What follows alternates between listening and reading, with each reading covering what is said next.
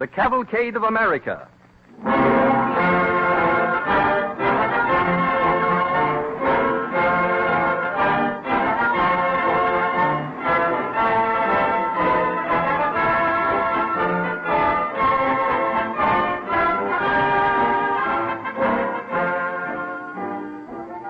In this week's presentation of the Cavalcade of America, brought to you by DuPont, you will hear stories of how Americans have conquered time and distance in speeding up communications with one another.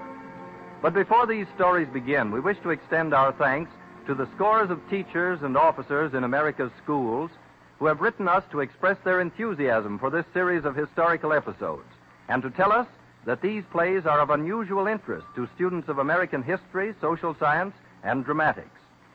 Many of these instructors have paid DuPont's Cavalcade of America a special compliment by asking if copies of the manuscripts from which these radio dramas are broadcast could be obtained for classroom work.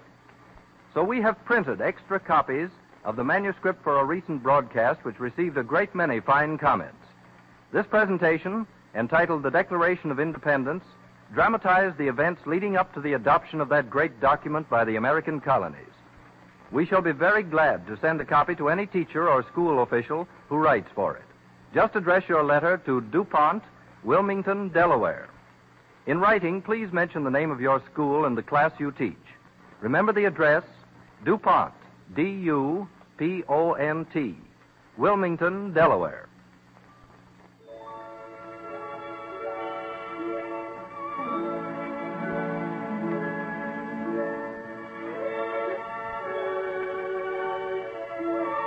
This evening's episodes in the Cavalcade of America tell the story of how distance has been shortened and communication made easier.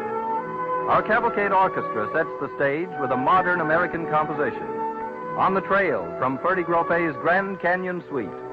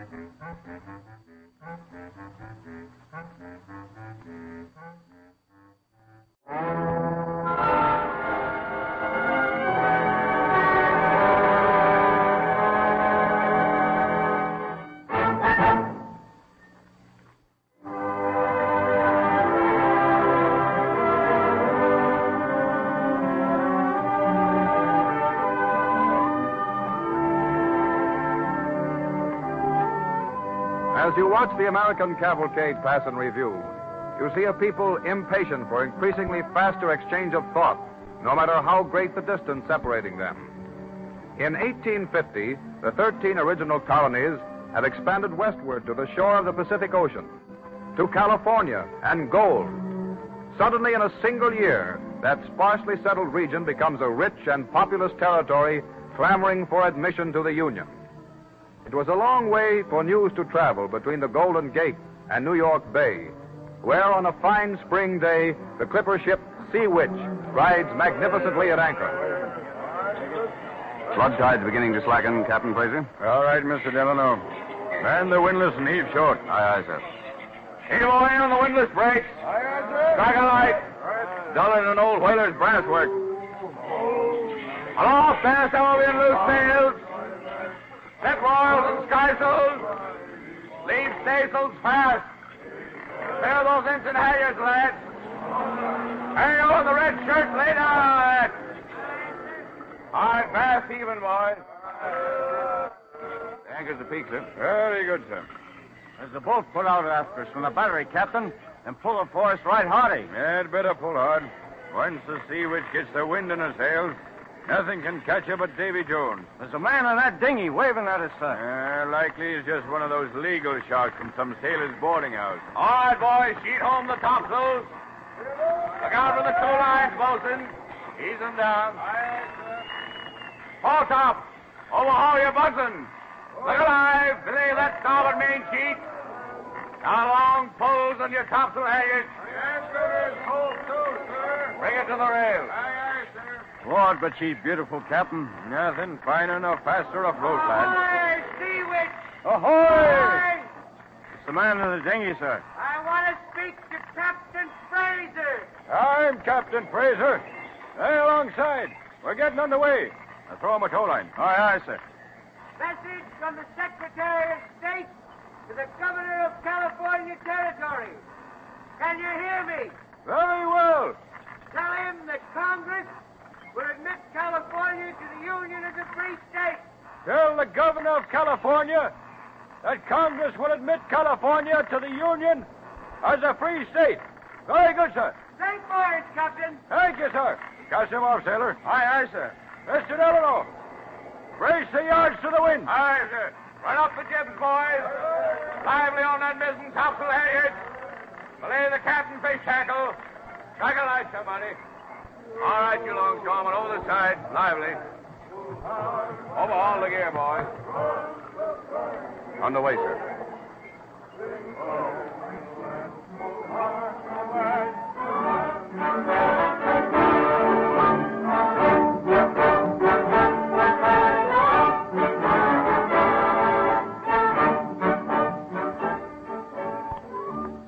Driving hard southward in all weather, past the equator, into the Antarctic winter, the Sea Witch rounds Cape Horn, carrying every stitch of canvas possible, racing for California, the land of gold and opportunity.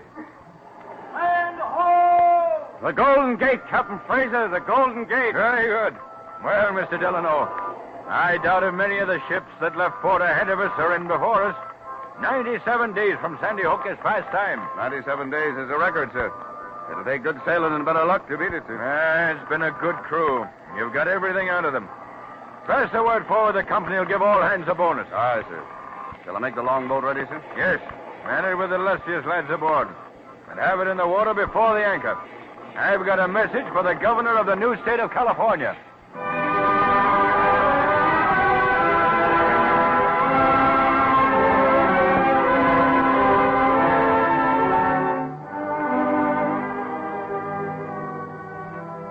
Years later, California is a great commonwealth, but San Francisco and New York are still weeks apart.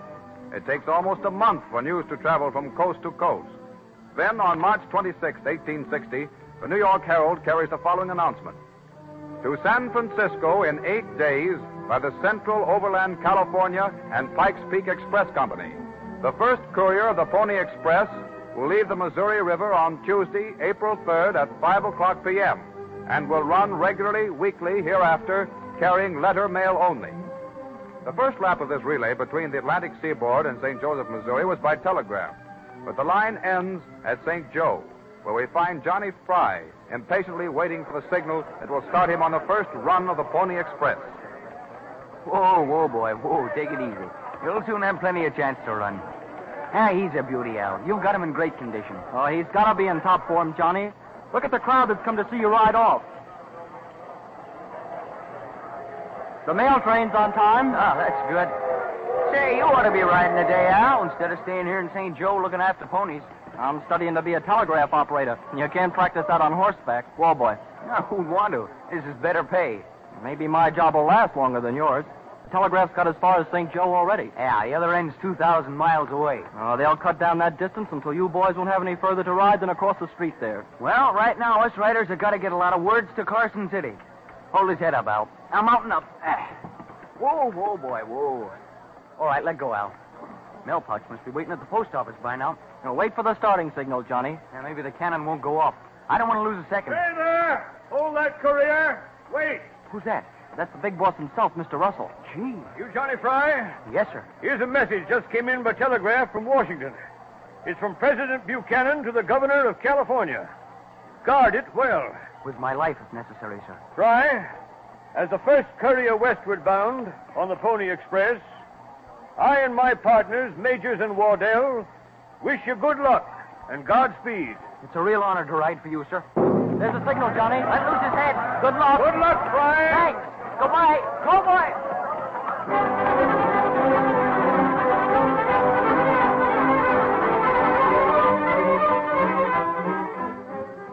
Johnny Fry is off on the first run, 75 miles on three horses. Just two minutes allowed for changing mounts, but by loosening the mail pouch before he reaches the station and tossing it to the agent before he dismounts, the time is cut down to 15 seconds. At the division point, the next rider is ready and waiting. Here he comes. Look at that kid ride. Right on time. Here, hold my horse. I'm mounting up. All right, here you are. Oh, Hello, boys. Hello, Johnny. Oh, whoa, Johnny. whoa there. Hey, how did it go? Now, all's well on the road. Here's the mail pouch, Haslam. Catch. Got it. And what's his telegram? It's from the president. It's safe with me. Let go his head, Hank. Go on. Come on. Get, get on. Get on.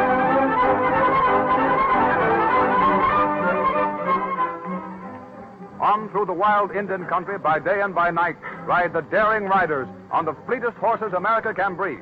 As far as Red Butte's division point, where another famous rider is waiting to carry the pouch to three crossings.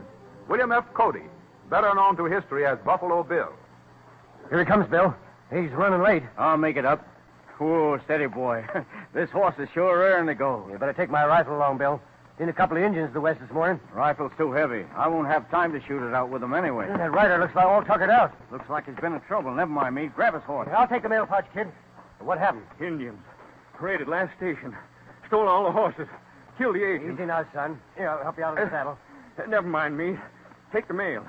This message from the president. I got it, son. Come on, run. Only we're late. Look sharp for Indians, Bill. I'll watch you.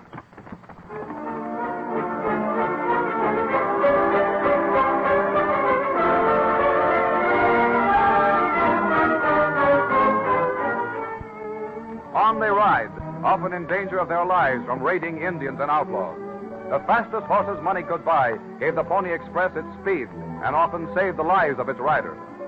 On the first through trip, nine days and two hours after Johnny Fry galloped westward out of St. Joseph, Missouri, a great crowd gathered in the streets of Carson City, Nevada, near the post office and telegraph terminal. Now, what's the matter? What's all the excitement? The Express. Coming out of the east like a comet. Oh, rats. I don't believe it. Just some fool rider coming in from the mine. Ah, does that sound like it? Here he comes. Don't seem possible. Clear the street. Look out for that pony. Whoa, whoa. Whoa, all's well on the road. Here's your mail. Whoa, boy. Doggone, the fish horse ain't still ready to run. Here, there, where's that telegraph operator? That's me, partner. Here's a message from the president to Governor Downey. Gee, well, can clear out of my way, boys. Let me get at that wire.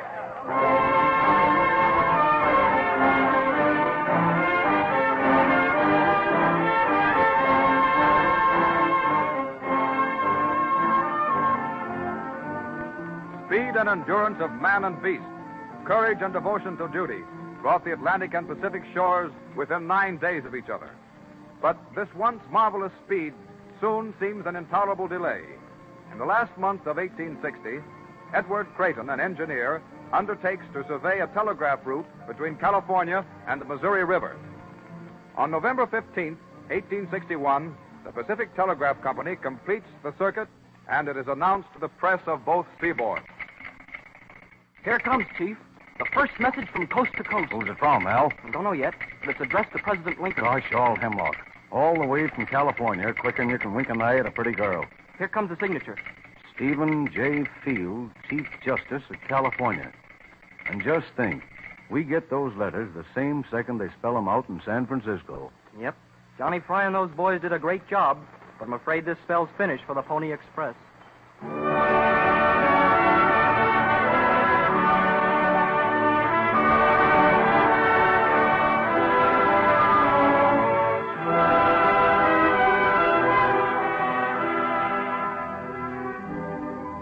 The American cavalcade moves onward. Reports of Lieutenant Maury, who was making a survey of the ocean depths for the United States Navy, showed that between Newfoundland and Ireland, the ocean bottom was a plateau at no very great depth. Then Cyrus W. Field had vision. A thought came to him why not carry a telegraph line across the ocean? But his desire to do this was stronger than any cable he could find, as his partner in the venture pointed out. Field, your cable broke twice in 1857 and many times in 1858. Nevertheless, Mr. Blockley, I propose we try again and again until we succeed. Now, look here, Field. I've backed you up a dozen times. But all these repeated failures, well, I think we've dropped enough money to the bottom of the Atlantic. We had it working for three weeks in 58. It'll have to last longer than that to get our money back. And uh, I won't throw any more good money after bad. But we've improved our cable. We have better equipment. I'm convinced we can succeed. But if we quit now, we're sure to fail. Oh, the whole thing is nothing but a pipe dream. At least give us your opinion on the new plan. I won't even hear them discussed. You're a fool, Field, and a fool and his money are soon parted. That won't include me this time. Good day to you.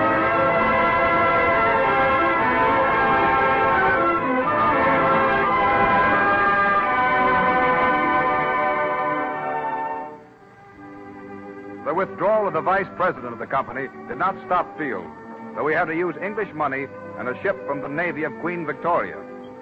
The year 1866 saw the successful completion of a transatlantic cable. Again, we find Cyrus W. Field in his office. Mr. Field, there's a Mr. Blockley who says he must see you. Field, Field, Well, Blockley, this is unexpected. What can I do for you? if you knew what it cost my pride to come here. But I'm in trouble. Desperate. Compose yourself, man. Compose myself. Field, unless I can reach my agent in London before the next packet arrives, I'm a ruined man. Well, the transatlantic cable is for everyone's use. But at present rates, it would cost me nearly $7,000 to send my instructions. I can't possibly put my hands on so much cash. Well, what do you want me to do? Send that message for me. I'll pay you back twice over in a month. You're sure it won't be sending good money after bad? Oh, please don't remind me of that. I've bitterly regretted my lack of faith in you and the cable. Is your message ready? Yes. We'll send it at once. You've saved my entire fortune. How can I ever repay you? by subscribing to the cost of laying a new cable. American owned and operated. Done, and gladly.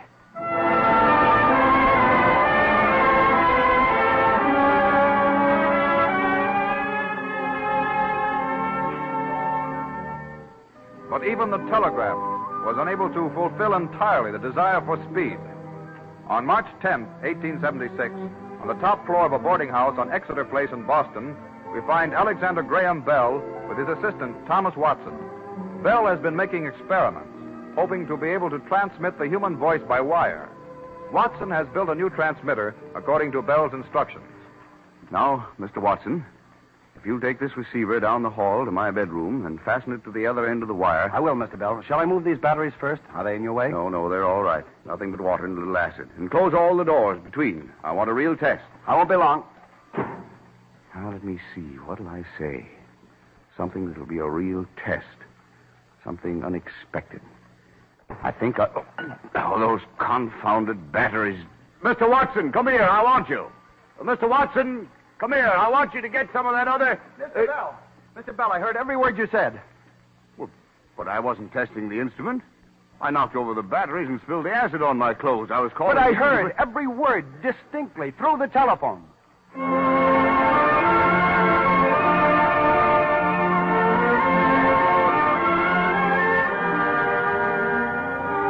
telephone slowly but surely spread its wire over the country. And soon ways and means were found to send words without the use of any wires whatever, by wireless. On December 12, 1901, American newspapers carried a thrilling headline Oceans Spanned by Wireless. Then an enterprising reporter reaches Thomas A. Edison. Uh, Mr. Edison, my paper wants a statement from you. Eh? What about? Marconi's great achievement. In St. John, Nova Scotia, he has received the call signal S, sent from Cornwall in England. I don't believe it.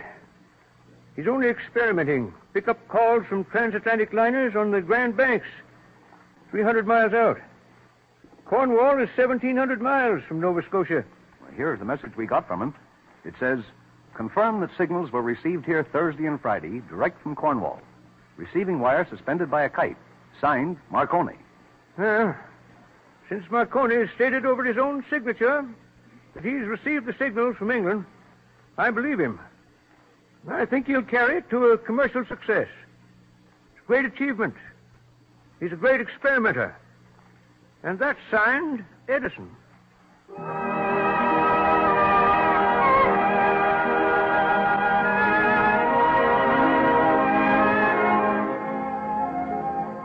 The very next year, 1902, in Fairmount Park, Philadelphia, an inventor named Nathan B. Stubblefield gave the first public demonstration of an instrument which sent the voice through the air without wires.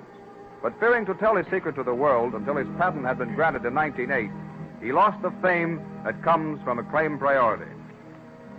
About this time, Dr. Lee DeForest invented the Audion or vacuum tube, and the modern age of speed and communication is on its way.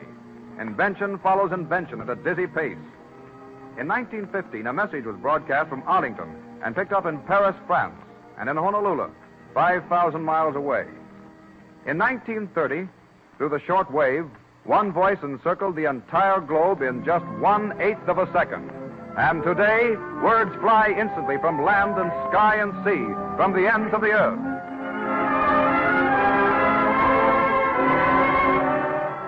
This is the Grenly Antarctic Expedition speaking on short wavelength from our base across the South Polar Continent from Little America. We have just completed a survey of lands never before sighted by man. To the east of us, there is a high plateau. Well, folks, here we are at the good old World Series between the Chicago Cubs and the Detroit Tigers. Quite a moment, folks. The great day stands a crowded. There's Schoolboy Rowe in the box. He's waiting for the umpire signal.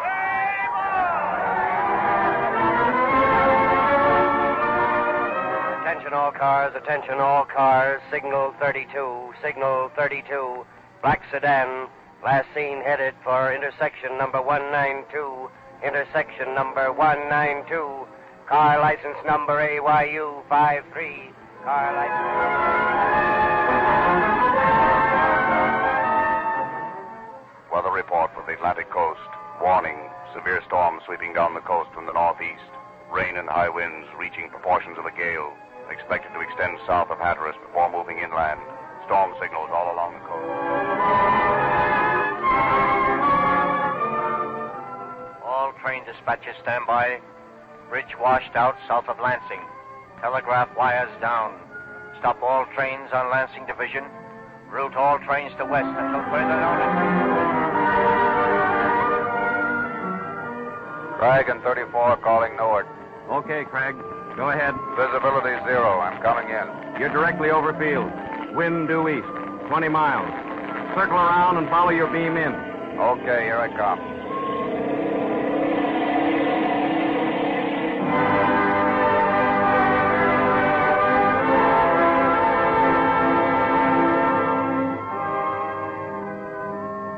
Today, the air about us is filled with words on every kind of mission, all the quick changing, variegated pattern of human thought. And this broadcast itself is a demonstration of the swift pace and far reaching scope of the Cavalcade of America.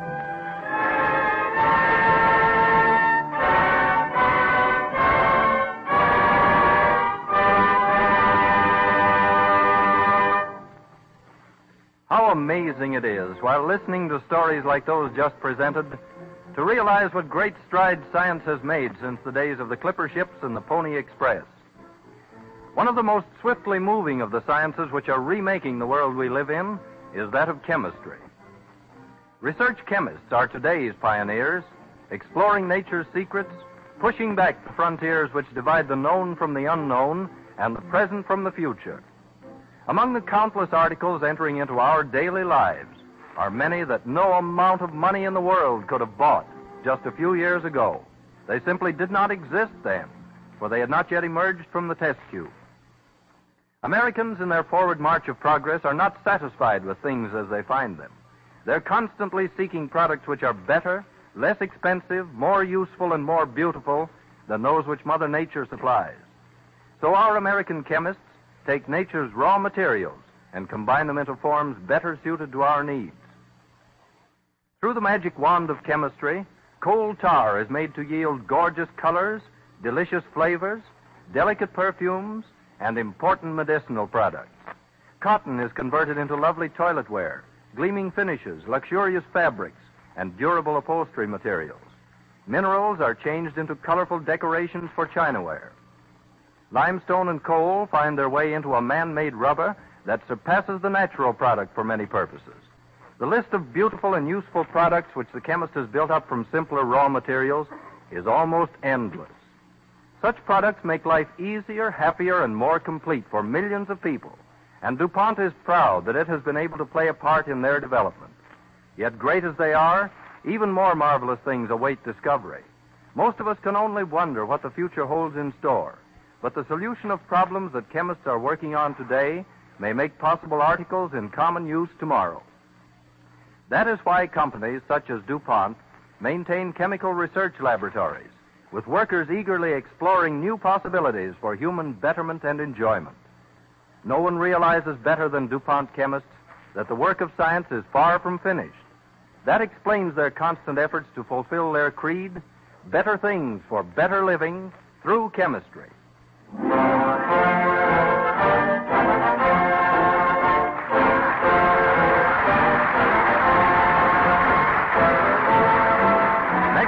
At this same time, DuPont will again present The Cavalcade of America. This is the Columbia Broadcasting System.